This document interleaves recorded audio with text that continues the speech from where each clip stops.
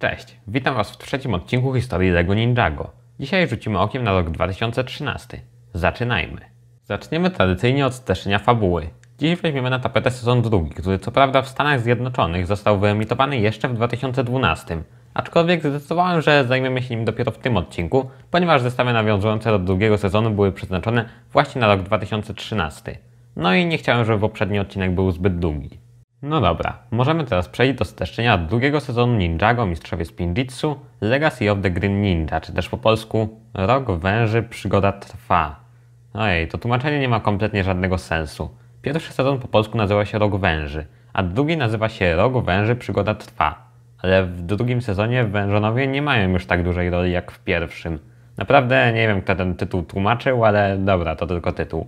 Przejdźmy w końcu do streszczenia fabuły. Sensei Wu oraz czterej ninja stają przed wyzwaniem wyszkolenia Lloyda na legendarnego zielonego ninja, który ma pokonać Lorda Garmadona. Nie ułatwia im tego fakt, że podczas walki z pożeraczem światów stracili perłę przeznaczenia oraz swoje złote bronie, które oddali Garmadonowi. On tymczasem przejmuje władzę nad wężonami oraz za pomocą złotych broni odtwarza perłę przeznaczenia. Następnie udaje się do złotych szczytów, w których przemienia cztery złote bronie w jedną potężną mega broń. Jak się wkrótce okazuje, mega broni nie można używać do niszczenia. Posiada jedynie moc kreacji. Garmadon wykorzystuje swoją nową zabawkę do tworzenia różnych przeszkód, które mają powstrzymać ninja, jednak nigdy nie udaje mu się ich pokonać. Pewnego razu za pomocą mega broni zamienia on ninja w dzieci. Aby powrócić do dorosłego wieku, używają oni specjalnej herbaty. Niestety działa ona również na Lloyda, co sprawia, że staje się on starszy. Ninja odzyskują też perłę przeznaczenia. W końcu ninja udaje się zniszczyć mega broń. Garmadon obmyśla wtedy nowy plan. Zamierza odnaleźć legendarną Mroczną Wyspę. Wyrusza na poszukiwanie jej razem z generałami wężonów, jednak w pewnym momencie Scale, generał Hypnocopt, wyrzuca go z helikoptera i sam staje się przywódcą wężonów. W międzyczasie ninja zostają zaproszeni do muzeum. Okazuje się, że jad pożeracza światów ożywił niektóre eksponaty. Drużyna musi sobie poradzić z tym problemem. W pewnym momencie spotykają Misako, mamę Lloyda. Opowiada im ona o pradawnym złym duchu, z którym niegdyś mierzył się pierwszy mistrz Spinditsu, o Overlordzie oraz jego niezniszczalnej kamiennej armii. Nagle atakuje ich jeden z kamiennych wojowników, o których opowiadała Misako. I to wyjątkowo ogromny. Podobnie jak inne eksponaty, został on ożywiony przez jad pożeracza światów. Po wyczerpującej walce ninja w końcu udaje się pokonać olbrzyma, a Misako dołącza do drużyny. Tymczasem wężonowie chcą zemścić się na mieszkańcach Ninjago. Zamierzają podkopać grunt pod całym Ninjago City. Podczas kopania natykają się na starożytny grobowiec kamiennych wojowników, którzy zostają ożywieni przez jad pożeracza światów. Rozpoczyna się walka, którą wężonowie przegrywają i zostają zamknięci w grobowcu. Natomiast kamienna armia wydostaje się na powierzchnię i wywołuje ogromne zamieszanie w całym mieście. W międzyczasie Garmadon dociera na Mroczną Wyspę, gdzie spotyka samego Overlorda w jego bezcielesnej formie. Garmadon za pomocą specjalnego przełącznika sprawia, że duża część Mrocznej Wyspy, która wcześniej była ukryta pod wodą, wyłania się, co sprawia, że wyspa rozrasta się do ogromnych rozmiarów. Następnie Overlord prowadzi Garmadona do niebiańskiego zegara, na którym znajduje się hełm ciemności, który pozwala kontrolować kamienną armię. Garmadon zakłada go i tym samym aktywuje zegar, który rozpoczyna odliczanie do ostatecznej bitwy pomiędzy dobrem a złem. Następnego dnia Zain i Sensei Wu zastanawiają się, gdzie zniknęła kamienna armia. Zauważają również, że na horyzoncie pojawiła się jakaś wyspa, której wcześniej tam nie było. Zain wysyła Sokoła, aby dowiedział się, co na tej wyspie się znajduje. Później Misako oznajmia, że prawdziwa potęga zielonego ninja wyzwoli się wtedy, kiedy jego czterej strażnicy odnajdą swoje moce żywiołów. Aby to się stało, muszą wyruszyć do świątyni światła, które znajduje się na Mrocznej Wyspie. Jako, że silniki perły przeznaczenia są zniszczone, zamiast tam polecieć, decydują się popłynąć. W pewnym momencie Zane pokazuje przyjaciołom obraz z oczu sokoła, który doleciał już na Mroczną Wyspę, jednakże zostaje on zniszczony przez kamiennego wojownika. W trakcie podróży bohaterowie zostają zaatakowani przez gry z gwiazdy, które poważnie uszkadzają perłę. Statek rozbija się na wyspie, na której znajduje się budowla, wydająca się być latarnią morską. Okazuje się, że jest ona zamieszkana przez doktora Juliena, twórcy Zayna. Doktor zaprasza ninja do środka. Opowiada im, że tuż po tym jak wyłączył pamięć Zayna, Samukaj ocucił go i kazał mu zbudować machiny wojenne dla armii szkieletów. Doktor Julian odmówił, więc szkielety uwięziły go w tej latarni i przykuły lewiatana, aby go strzegł. Wynalazca pomaga bohaterom naprawić perłę przeznaczenia i decyduje się wyruszyć z nimi, jednak zostają zaatakowani przez lewiatana. Ninja nie wiedzą jak go pokonać. W pewnym momencie Zane oswawadza potwora z łańcuchów. Wtedy przestaje on atakować statek. Drużyna kontynuuje podróż i w końcu dociera na Mroczną Wyspę. Ninja próbują odnaleźć świątynię światła za pomocą specjalnego medalionu doktora Juliena. Kiedy zbliżają się do obozowiska Garmadona, Zane zauważa, że znajduje się tam jego sokół. Biały ninja podejmuje próbę odebrania sokoła kamiennym wojownikom. Tymczasem Jay odkrywa, gdzie znajduje się świątynia światła. Zane zostaje zauważony przez kamienną armię. Pozostała trójka rusza mu na ratunek i ostatecznie jakoś udaje im się uciec. Wojownicy powracają na perłę przeznaczenia i z pomocą nowych pojazdów zbudowanych przez doktora Juliana ruszają do świątyni światła. Ścigają ich kamienni wojownicy, jednak ninja udaje się ich tymczasowo zatrzymać i dotrzeć do świątyni. Wchodzą do środka. Lloyd przypomina sobie, co mówiła mu Misako. Kiedy zielony ninja znajdzie instrument pokoju, uderzy w niego i otrzyma moc najpotężniejszego mistrza spinjitsu. Lloyd zauważa, że w świątyni znajduje się wielki dzwon. Uderza w niego, a wtedy stoje wszystkich ninja zmieniają się. Wszyscy poza Lloydem otrzymują ostrza żywiołów. Bronie, które pozwalają ninja ponownie używać mocy żywiołów. W tym momencie do świątyni przybywa kamienna armia. Ninja bez trudu pokonują ją, wykorzystując swoje nowe moce. Lloyd natomiast wytwarza złotego smoka, który powala przeciwników. Jakiś czas później Misako oznajmia, że poznała sposób na uniknięcie ostatecznej bitwy. Jeśli hełm ciemności powróci na swoje miejsce, być może niebiański zegar zatrzyma się. Ninja przebierają się za kamiennych wojowników i udając, że pojmali Misako, idą z nią do obozu Garmadona. Kiedy tam docierają, Misako zgodnie z własnym życzeniem zostaje zabrana do namiotu Garmadona. Udaje się jej przekonać swojego męża, aby zdjął hełm i kiedy nadarza się ku temu okazja, zabiera go i ucieka. Tymczasem ninja zostają zdemaskowani. Wydaje się, że nasi bohaterowie znaleźli się w sytuacji bez wyjścia, jednak na ratunek zjawia się Nia w wiedle ziemi. Wojownicy uciekają, jednak goni ich Garmadon w wielkim czterodękim mechu. W końcu Garmadon dopada ninja. Na ratunek przybywa im Lloyd, który powala mecha swoją mocą, po czym staje twarzą w twarz z Garmadonem. Wydaje się, że ostateczna bitwa rozpocznie się dużo wcześniej niż powinna, jednak Lloyd nie jest w stanie zaatakować ojca. Na miejsce przybywa kamienna armia. Lloyd razem z resztą drużyny wsiada do wiertła i ruszają do niebiańskiego zegara, gdzie spotykają się z Sensejem Wu. Nie mogą jednak zlokalizować miejsca, na które odłożony powinien zostać hełm. Na miejscu zjawia się kamienna armia. Wtedy Misako zauważa miejsce i odkłada na nie hełm. Jednak okazuje się, że jest już za późno. Odliczanie do ostatecznej bitwy zostało zakończone. Kamienni wojownicy porywają Niję, natomiast reszta drużyny zostaje sprowadzona na półkę skalną, która wkrótce się osuwa i bohaterowie wpadają do wody. Tymczasem z niebiańskiego zegara w stronę obozowiska Garmadona wystrzelony zostaje promień energii, który tworzy ostateczną broń ciemności Garmatron. Nia zostaje przyprowadzona do Garmadona, który decyduje się przeprowadzić na niej eksperyment. Mianowicie poddać ją działaniu mrocznej materii, którą kamienni wojownicy wykopywali na wyspie. Ninja powracają na perłę przeznaczenia. Jako, że niebieski zegar zakończył swoje odliczanie, ostateczna bitwa może rozpocząć się lada chwila, więc drużyna decyduje się zaatakować obozowisko Garmadona. Kiedy tam docierają, ku ich zaskoczeniu okazuje się, że Garmadona i kamiennej armii tam nie ma. Zauważają jednak ślad, którym poruszała się armia. Postanawiają nim podążać, jednak dr Julian mówi, że nie jest w stanie za nimi nadążyć, więc zostanie tu i poczeka na ich powrót. Drużyna rusza naprzód, podążając za śladem pozostawionym przez kamienną armię. W pewnym momencie atakuje ich Nia, która stała się zła pod wpływem mrocznej materii. Kai, Jay, Cole i Zane próbują powstrzymać Nię, natomiast Lloyd, Wu i Misako ruszają dalej. W końcu docierają na wybrzeże, gdzie zlokalizowały się siły kamiennej armii. Garmadon chce za pomocą Garmatonu zmienić Ninjago na swoje podobieństwo. Bohaterowie próbują go powstrzymać, jednak nie udaje im się to. Garmadon wystrzela pociski z mroczną materią w kierunku Ninjago. Po chwili Overlord przejmuje jego ciało i sprawia, że przechodzi ono transformację. Garmadon zmienia się w potwora. Na miejsce akcji przybywają pozostali ninja, którym udało się zatrzymać Niję. Pomagają oni Lloydowi przedarciu się przez kamienną armię i dostaniu się do Overlorda. Rozpoczyna się walka pomiędzy tą dwójką. Podczas tego pojedynku Garmadon próbuje odzyskać kontrolę nad swoim ciałem, jednak Overlord okazuje się być silniejszy. Oznajmia zielonemu ninja, że jego ojciec już odszedł, po czym pokonuje go. Następnie otwiera portal, za pomocą którego przenosi kamienną armię do Ninjago City. Ninja natomiast zostają uziemieni na Mrocznej Wyspie, ponieważ perła przeznaczenia została zniszczona podczas bitwy. Na dodatek Lloyd w pojedynku z Overlordem złamał nogę. Wydaje się, że dla naszych bohaterów nie ma już żadnej nadziei. W pewnym momencie Zane zauważa, że Sokół chyba chce im coś pokazać. Drużyna podąża za mechanicznym ptakiem, który prowadzi ich do świątyni światła. Bohaterowie zauważają cztery otwory. Ninja umieszczają w nich swoje ostrze żywiołów. W tym momencie podłoga świątyni otwiera się, ukazując legendarny skafander bojowy, który niegdyś należał do pierwszego mistrza Spinjitsu. Lloyd jako jego następca jest w stanie aktywować mecha. Niespodziewanie na wyspę przybywa Ultra Smog. Teraz drużyna może wyruszyć do Ninjago City. Kiedy tam przybywają, zastają miasto w innym stanie niż je zapamiętali. Niebo pokrywają ciemne chmury, a ludzie są opętani przez Overlorda. Pojawi się również ogromny budynek, którego wcześniej tam nie było. Okazuje się, że jest to Garmatnon, który przeszedł transformację. Na jego szczycie znajduje się Overlord, który powrócił do swojej pierwotnej formy. Aby Lloyd mógł się z nim zmierzyć, musi przedrzeć się przez kamienną armię. Próbuje powstrzymać ich za pomocą złotego mecha, jednak szybko zostaje on zniszczony przez Niję, która ostrzeliwuje go z ruchomej wieżyczki. Kai, Jay, Cole i Zane zeskakują z Ultra Smoka, aby mu pomóc, jednak przeciwników jest zbyt dużo. Tymczasem Misako zauważa, że Overlord nie ma już na głowie swojego hełmu. Domyśla się, że ten, kto nosi hełm ciemności, kontroluje kamienną armię. Wraz z Senseiemu i doktorem Julianem próbuje go odszukać, jednakże wyprzedza ich Daret, który zakłada hełm. Kamienna armia przestaje atakować ninja i czeka na rozkazy Dareta. Ten każe im zaatakować Overlorda. Wojownicy wykonują rozkaz, jednak szybko zostają zestrzeleni przez Niję. Pięciu ninja rusza razem na spotkanie Overlordowi. Po drodze Jay i Cole zostają przez niego zamienieni w złych. Zane próbuje ich zatrzymać. Natomiast Kai zajmuje się powstrzymaniem Nii.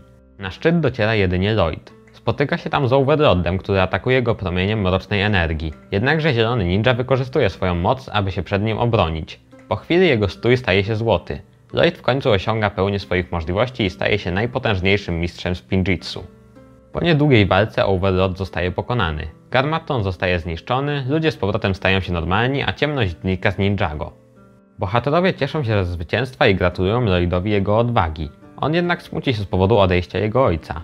Niespodziewanie spod sterty gruzu wychodzi nie kto inny jak sam Garmadon, którego opuściło całe zło, jakie w nim było i powrócił do swojej ludzkiej postaci.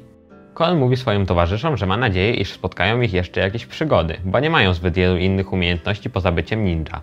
Jay nie zgadza się z tym. Kai przyznaje mu rację, mówiąc, że z pewnością będą w stanie wykorzystać swoje umiejętności w życiu codziennym, a jeśli zło kiedyś powróci, będą na nie gotowi. Tak więc sezon drugi kontynuuje wątki z pierwszego. Przede wszystkim wątek Garmadona i Lloyda, któremu poświęcony jest praktycznie cały sezon i otrzymuje on tutaj swój finał. Do tego byliśmy przygotowywani przez cały sezon pierwszy. Ostateczna walka pomiędzy dobrem a złem. Czy ten sezon dobrze finalizuje wątki z poprzedniego? Od razu odpowiem, że nie do końca. Ale, ale, zanim przejdziemy do tego, trzeba rozliczyć się z jedną kwestią. Mianowicie pierwsze sześć odcinków sezonu to filery, które do fabuły nie wnoszą praktycznie nic. Ich fabuła prawie w ogóle nie ma związku z tym, co dzieje się później. Prezentuje się ona tak. Garmadon łączy wszystkie cztery bronie żywiołów w jedną potężną mega broń. Kto wymyślił tą nazwę? Za jej pomocą tworzy różne przeszkody, które mają pokonać ninja. Tak więc mamy tutaj odcinek, w którym ninja szukają pracy. No w sumie nawet nie jest najgorszy. Odcinek, w którym ninja walczą z piratami. Takimi stereotypowymi piratami z opaską na oku, drewnianą nogą i papugą na ramieniu. Moim zdaniem tacy typowi piraci kompletnie nie pasują do świata Ninjago. Nie twierdzę, że w Ninjago nie mogliby się pojawić piraci, bo jak najbardziej mogliby, tylko że trzeba by ich trochę przerobić, żeby bardziej pasowali do tego świata. Tak jak było w sezonie szóstym. A, no i ten odcinek wprowadził dwie postacie, które na stałe zagościły w uniwersum Ninjago. Kapitana Soto oraz Dareta. O tym pierwszym w sumie niewiele można powiedzieć, a ten drugi jest po prostu comic reliefem i w zasadzie to niewiele wnosi do serialu, aczkolwiek momentami jest całkiem zabawny. Dalej mamy odcinek, w którym ninja walczą ze swoimi złymi sobowtórami, nie ma w sumie co o nim mówić. Odcinek, w którym ninja startują w wyścigu, żeby uratować Dojo Dareta, też nie mam o nim nic do powiedzenia. Odcinek, w którym Garmadon przywraca do życia prehistoryczną bestię Grandala i przy okazji zamienia ninja w dzieci. I ten epizod w przeciwieństwie do swoich poprzedników nie jest w mojej opinii kompletnie zbędny, ponieważ zwraca on uwagę, że Lloyd został, można powiedzieć, okradziony z dzieciństwa przez ogromną odpowiedzialność, jaka na niego spadła. W ostatnim z filerowych odcinków Garmadon cofa się w czasie do wydarzeń przedstawionych w odcinkach pilotażowych w celu sprawienia, aby drużyna ninja nigdy nie powstała. Ten epizod wprawdzie nie wnosi nic do fabuły całego sezonu, aczkolwiek jest to jeden z odcinków filerowych, o których mogę powiedzieć, że w pełni mi się podobał. Naprawdę fajnie było zobaczyć, jak ninja z teraźniejszości reagują na wydarzenia z przeszłości, w szczególności Kai, bo to on był głównym bohaterem odcinków pilotażowych. Fajne były też ich interakcje z Senseią z przeszłości. W finale odcinka Megabroń zostaje zniszczona, a właściwie to wysłana w kosmos.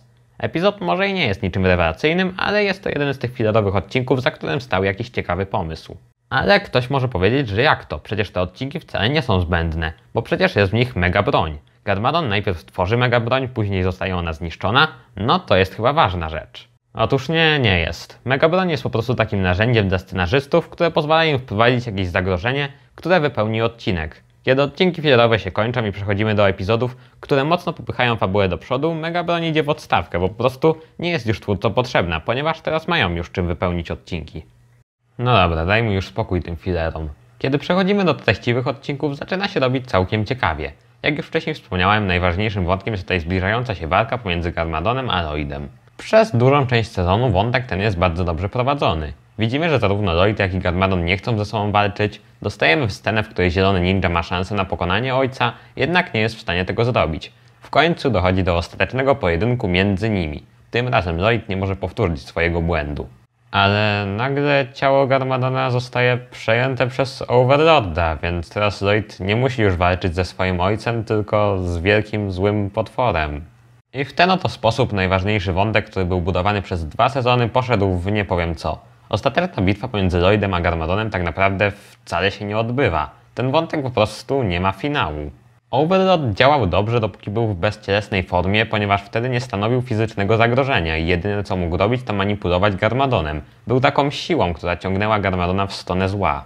Natomiast problem pojawił się wtedy, kiedy Overlord przejął ciało Garmadona i stał się faktycznym zagrożeniem. Ponieważ Overlord jest, nie oszukujmy się, strasznie nudnym złoczyńcą. Jest po prostu wielkim, pradawnym złem. Tego typu złoczyńcy to strasznie leniwe rozwiązanie, no bo w końcu nie trzeba tłumaczyć dlaczego są źli. No bo są wielkim, pradawnym złem. I tyle. Ale nie to jest największym problemem. Największym problemem jest to, że w finale przejmują ciało Garmadona, przez co nie dochodzi do finałowej konfrontacji pomiędzy nim a Lloydem. Największym wyzwaniem dla Lloyda było to, że musiał zmierzyć się z własnym ojcem, a dla Garmadona, że będzie musiał walczyć z własnym synem. Obydwaj woleliby uniknąć tej walki, ale wiedzą, że takie jest ich przeznaczenie i muszą podjąć to wyzwanie. Ale okazuje się, że jednak nie muszą. I przez to finał sezonu jest straszliwie nudny, ponieważ nie ma w nim kompletnie żadnych emocji. No a w finale emocji powinno być właśnie najwięcej. Cały ładunek emocjonalny był w tym, że syn musi walczyć z ojcem. Natomiast kiedy zostało to zabrane, no to co? Lloyd musi po prostu pokonać wielkiego złego potwora. Ostatni odcinek sezonu ma konstrukcję gry komputerowej. Lloyd musi dostać się do bossa, w międzyczasie odblokowuje nowego skina, w końcu pokonuje bossa i koniec gry. No właśnie, Lloyd zmienia się w złotego ninja, najpotężniejszego mistrza spinjitsu, ale czy to coś tak naprawdę znaczy? Czy to jest symbol tego, że postać przeszła jakąś przemianę? Otóż nie, po prostu zmienił się w złotego ninja i otrzymał większą moc, kiedy walczył z Overlordem i potrzebował akurat większej mocy. No, jak wcześniej wspomniałem, odblokował nowego skina. Pewnie wykupił DLC.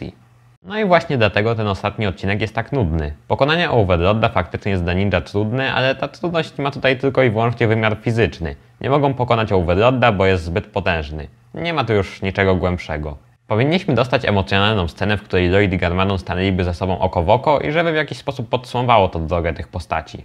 Aczkolwiek, żeby satysfakcjonująco zamknąć tak ważny wątek, który był tak długo budowany, trzeba się postarać. Najwyraźniej scenarzystom nie chciało się starać i obrali drogę na skróty. I tego to ja im chyba nigdy nie wybaczę. Jak już wielokrotnie wspomniałem, wątek Garmadona i Lloyda był najważniejszym wątkiem, który był budowany przez dwa sezony i w mojej opinii był on świetny, więc szkoda po prostu, że nie dostał godnego finału. Wróćmy jeszcze na chwilę do postaci Garmadona. Nie wiem, czy tylko ja tak mam, ale odniosłem wrażenie, że w sezonie drugim zachowuje się on dużo bardziej dziecinnie. W odcinkach pilotażowych oraz w sezonie pierwszym Garmadon był traktowany poważnie. Nie było praktycznie żadnych komediowych scen z jego udziałem. Natomiast w sezonie drugim zachowuje się może nawet nie tyle dziecinnie, co karykaturalnie. Często zachowuje się jak taki przerysowany kreskówkowy złoczyńca. Często się denerwuje w taki bardzo przerysowany sposób, albo mówi teksty w stylu Przeklęci ninja! Następnym razem was dopadnę! Normalnie brakowało tylko, żeby się poślizgnął na skórce od banana. I w mojej opinii to go trochę zepsuło. Dużo bardziej podobało mi się, jak Garmadon był traktowany poważnie, bo dzięki temu jego wątek lepiej wybrzmiewał. Łatwiej było się z nim utożsamić i poczuć jego ból, no i nadawało mu to większej wagi. Dobra, skończmy już z tym narzekaniem i przejdźmy do pozytywów, których niestety jest niewiele. Podobał mi się wątek Zayna, białemu ninja poświęcony został cały odcinek, w którym poznaliśmy jego ojca, doktora Juliana. Odcinek przede wszystkim położył nacisk na wyjątkowość Zayna i uważam, że jest to dobra kontynuacja wątku tej postaci z poprzedniego sezonu. Zdecydowanie moja ulubiona rzecz w tym sezonie. No i trzeba też wspomnieć o nowej postaci wprowadzonej w tym sezonie, jaką jest Misako. Służy ona przede wszystkim temu, żeby rozwinąć Lloyda oraz Garmadona. Aczkolwiek podobało mi się, że zostało tutaj tak dość subtelnie zarysowane, że Misako, no, chyba wybrała nie tego brata. Widać co prawda, że kochała Garmadona, ale dołu chyba czuła jednak coś więcej. Zresztą ten wątek będzie kontynuowany w kolejnych sezonach. Pierwszy sezon Ninjago był świetny. Niestety drugi nie utrzymał tej dobrej formy. Jest tutaj wprawdzie kilka fajnych rzeczy, ale przede wszystkim boli to, że twórcy nie dali nam godnego finału najważniejszego wątku w całym serialu i załatwili to w bardzo leniwy sposób. No dobra, serial mamy za sobą, przejdźmy więc do spraw klockowych. Zacznijmy od omówienia minifigurek. Każdy z pięciu ninja dostał oczywiście nowy strój. I muszę przyznać, spośród wszystkich strojów, jakie ninja kiedykolwiek mieli, te z sezonu drugiego podobają mi się chyba najbardziej. Jak dobrze wiemy, każdy ninja ma do siebie przypisany kolor i stroje z odcinków pilotażowych oraz sezonu pierwszego były praktycznie w całości w kolorze danego ninja. Natomiast stroje z drugiego sezonu różnią się od poprzednich tym, że kolory ninja zostały na nich mocno ograniczone i stroje są w większości czarne. Moim zdaniem wygląda to bardzo dobrze i nadaje im takiej elegancji. Stroje te wykorzystywały znane nam już dobrze maski ZX. Lloyd dostał w sezonie drugim aż dwie minifigurki, jako zielony ninja oraz jako złoty ninja. Ta pierwsza pojawiła się w książce Encyklopedia Postaci, natomiast ta druga w 2013 wystąpiła w dwóch zestawach. Później jeszcze pojawiła się w jednym w 2015. Głównym złoczyńcą sezonu drugiego jest Garmadon. Jeżeli chodzi o jego minifigurkę, to jest to dokładnie ta sama figurka co Garmadon z sezonu pierwszego. Jedyną różnicą jest hełm. Garmadon ściągnął swój stary hełm z kością i założył hełm ciemności, który pozwalał mu kontrolować kamienną armię. Sam hełm był tym samym elementem co wcześniej. Nową rzeczą były przymocowane do niego rogi. Jak dobrze pamiętamy, w finale sezonu ciało Garmadona zostało przejęte przez Overlorda i przeszło ono transformację. Lego spróbował oddać wygląd tej jego potworzastej głowy, mocując do hełmu taką jakby osłonę na usta. Niezbyt dobrze oddaje to wygląd tej potworzastej głowy. Uważam, że na jej potrzebę powinien powstać specjalny, dedykowany odlew. Wrogą fraktem w sezonie drugim byli kamienni wojownicy. Może nie są oni aż tak oryginalnym pomysłem jak wężonowie, ale mimo to ja osobiście bardzo ich lubię. Dostaliśmy trzy typy żołnierzy kamiennej armii. Wojownika ze zwykłymi nogami z główką w kolorze niebieskim. W zestawach był on wyposażony w katanę, wojownika z krótkimi nogami z główką w kolorze żółtym oraz z kołczanem na plecach. On z kolei wyposażony był w kuszę.